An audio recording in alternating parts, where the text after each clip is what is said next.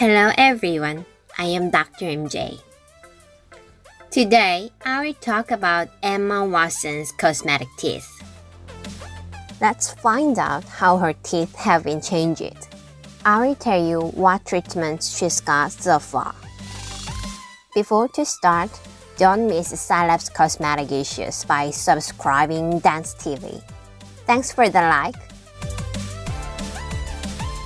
Emma Watson is very famous with her beauty.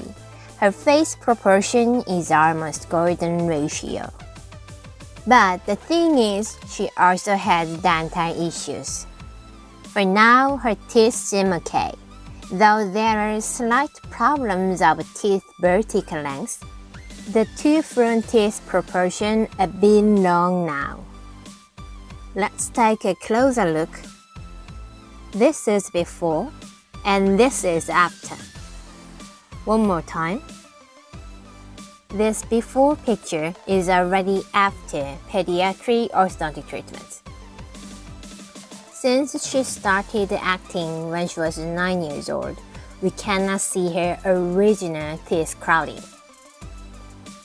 She got veneering treatment after her pediatric ortho treatment. We can see her tooth shape and length have been changed.